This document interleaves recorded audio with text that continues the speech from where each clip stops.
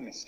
Y me parece que mal iniciaríamos eh, planteando cosas que no existen. Al vaso. Si en febrero se presentaron las iniciativas, se discutieron hasta la náusea durante los plenos de la Cámara de Diputados, en los medios, en todos los espacios, dijeron lo que aquí acaban de decir, que no, que no y que no, que tenían una moratoria constitucional, que no iban a permitir ninguna reforma al marco eh, constitucional la oposición y que eran garantes de que esto así fuera.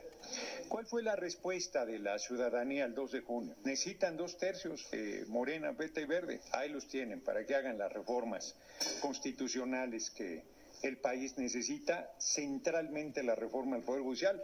Me llama la atención poderosamente que la representación del PRI diga que está en riesgo la República. Estuvo en riesgo mientras ellos estaban al frente del gobierno, rematando el patrimonio nacional, masacrando a la población, haciendo tropelía y media, y luego con sus aliados del PAN, que ya quedó claro que son lo mismo. Eso, por si había alguna duda, en 2021 lo hicieron muy claro y en 2024 quedó nítido. Entonces, esa discusión está dada, pero en el procedimiento legislativo se ha planteado darle curso a todas estas iniciativas presentadas por el compañero presidente López Obrador, que por cierto no tenemos litigio en la inmensa mayoría.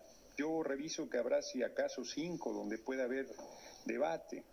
Entonces, eh, yo creo que hay que plantear, va a ser, se va a instalar en sesión permanente la comisión, ahí se va a ir acordando eh, qué iniciativas se van presentando. En el caso de la reforma al Poder Judicial se está diciendo a partir de qué día se presentaría y qué fecha no se eh, aprobaría antes de esa fecha, o sea, está dando la garantía de que se van a incorporar todos los planteamientos que están saliendo en los foros, que a nosotros nos parecen eh, que se deben recuperar. Y yo eh, plantearía finalmente que quizás lo que podría salvar el, el, el artículo quinto es que se reciban las reservas y como ha sucedido siempre, se envíen al Pleno, porque además sería absurdo que esta legislatura que termina discutir esas reservas y luego es otra legislatura la que las va a discutir en el Pleno.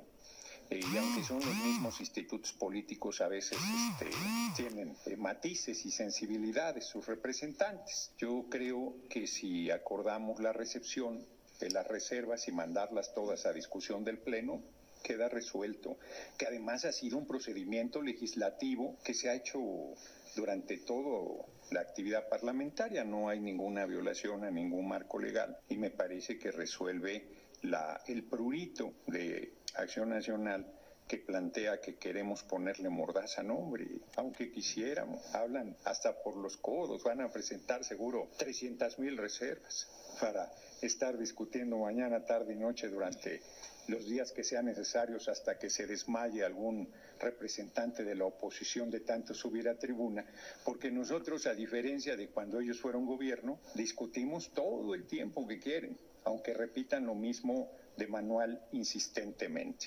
Eso no le tenemos miedo al debate, no le tenemos miedo a la argumentación, los foros ha quedado claro.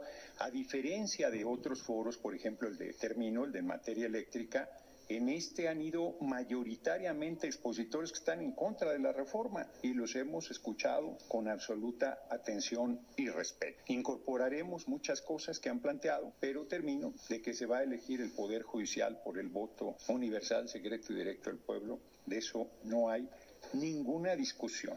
Y quienes piensen que por eso la República está en peligro, la República saqueada, la República rematada, la república bañada en sangre, la república inexistente y subordinada al gran capital nacional extranjero, esa sí ya se termina, esa la estamos desmantelando y por eso estas reformas constitucionales.